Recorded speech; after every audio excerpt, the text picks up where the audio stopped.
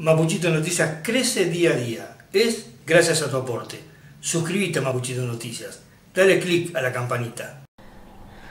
Muy bien, vamos a hablar ahora con el viceministro de Educación, Adrián Carrizo. Adrián, gracias por atendernos. Buenas noches.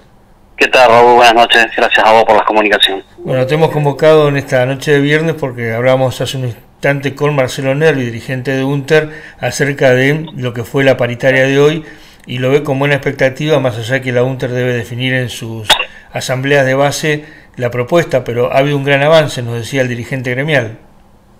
Sí, la verdad que eh, hoy volvimos a hacer un repaso de cuál fue el, punto de partida de la paritaria. Recordemos que nosotros iniciamos eh, nuestra primera convocatoria en el mes de, febrero, donde eh, habíamos ofrecido un 16% y dentro de esa misma paritaria fuimos elevando el porcentaje a 18%, luego un 20%, y ya en, la segunda instancia el gobierno ofrece un 22%, con lo cual el, sindicato lo, lo declara insuficiente.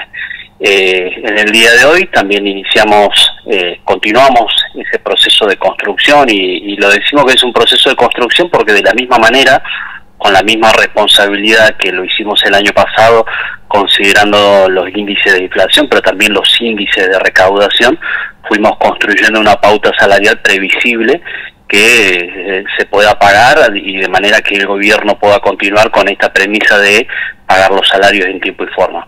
Eh, nosotros siempre tomamos como base el salario de, la paritaria nacional y era nuestro objetivo poder llegar a, equiparar esos, esos porcentajes.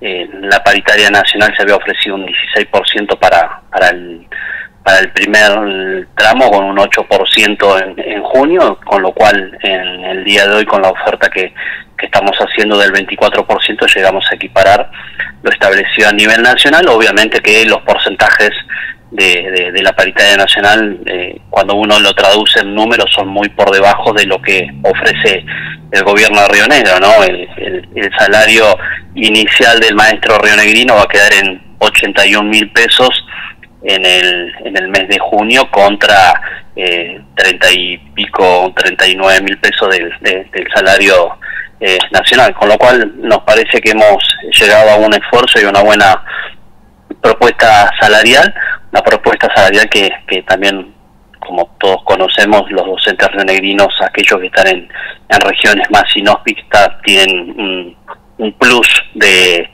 eh, del concepto de la ubicación que lo hace eh, mucho más eh, considerable a la hora de, de analizar la propuesta salarial.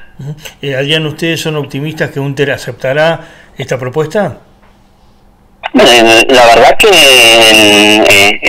en, un principio nosotros somos respetuosos de los canales orgánicos del, sindicato, tiene congreso la semana que viene, son las distintas asambleas y los docentes que el modo y el mecanismo de organización que tiene el sindicato lo lleva, lo que sí nos genera muy buenas expectativas porque eh, a partir de la insuficiencia que declaró el sindicato del 22% y que la pauta salarial tuviera una, un correlato con con lo que ofrece la CETERA y que estuviera por encima de los índices de inflación, la propuesta cubre esas expectativas. Por lo tanto, eh, nos quedamos con una muy buena expectativa de que la propuesta eh, es ampliamente superadora de cómo iniciamos el ciclo lectivo con la discusión salarial. ¿Y esto le daría tranquilidad para llegar hasta junio para reabrir la paritaria? Y junio, sí, ya estamos entrando en una semana más, entramos en el mes de abril, en junio volvemos a abrir. Nosotros decimos que si ya en el primer semestre tenemos un 24%, con lo cual el parámetro nacional era del 40, ya estamos por encima de, de, más de la mitad, eh, de cara a sentarnos en el mes de junio a revisar y actualizar en función de los índices inflacionarios, pero también de los índices de recaudación de la provincia de Río Negro. La misma responsabilidad que tuvimos los dos últimos años, donde el salario docente le pudo ganar a la inflación, producto de la previsión y, de la recaudación, también ese mismo camino queremos eh, afrontarlo para este ciclo lectivo. Eh, Adrián, gracias por atendernos. No, por favor, te mando un abrazo, Raúl, hasta luego. Un abrazo, buen fin de semana. Gracias. Muy bien, así hablábamos con Adrián Carrizo, el viceministro de Educación de Río Negro, con lo cual le hemos dado toda la vuelta aquí en Mapuchito Noticias, con todas las voces en esta noche de viernes. El 2 Comunicaciones se agrandó, cambió de local y tiene lo más variado en productos para sus clientes. Tecnología en celulares, audio y video. Reparamos tu celular. Visítanos en nuestro nuevo local de Colón 361 de Viedma. Lo que no está en el 2 Comunicaciones no existe. El 2 Comunicaciones, Colón 361 Viedma. Metalúrgica Saocor. Somos fabricantes de cortinas metálicas, de aluminio y acero inyectado, automatización de portones, cortinas estándar, blindadas, microperforadas, acero inoxidable, galvanizadas, ventas de motores y repuestos, con un servicio postventa y todo asesoramiento personalizado. Comunicate al 2920 15 30 80 27 o encontranos en Facebook como Saocor o en nuestro local Antártida Argentina 3300 296, San Antonio Oeste, Río Negro, porque lo más importante es lo que hay detrás de la cortina.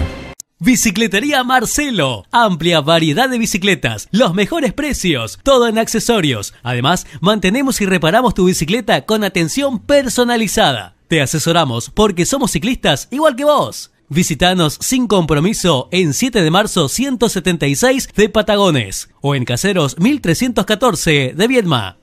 Bicicletería Marcelo. Cementos del Valle. Precio, calidad, sin competencia. Llama al 2920 47 66 81 al 52 15 32 Parque Industrial Carmen de Patagones.